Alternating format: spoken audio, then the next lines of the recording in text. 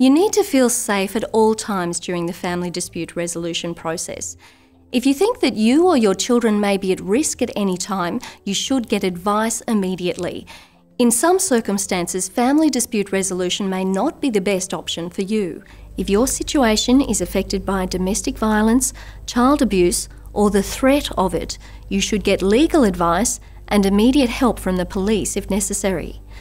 Legal Aid Queensland, Family Relationship Centres, and the Family Relationship Advice Line can give you information about what you can do to protect yourself and how this could affect the separation process. They can also put you in touch with other support services available to help you.